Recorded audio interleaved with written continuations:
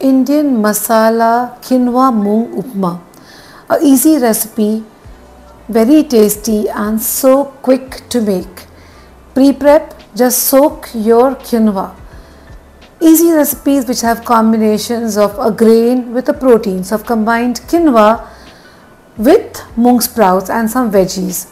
I always would remind you to wash, soak, strain the quinoa twice so that you remove the saponins, the phytic acid which makes quinoa bitter in taste.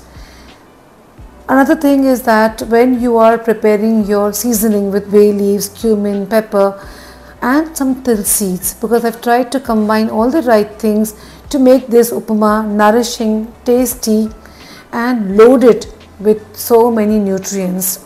Adding onion, tomato, coriander and carrots with mung sprouts and quinoa this is the complete meal because friends remember that when you combine a protein like moong with quinoa which is a grain it becomes a complete vegetarian vegan protein recipe. The digestion is easy because I have sprouted the moong and I have soaked the quinoa.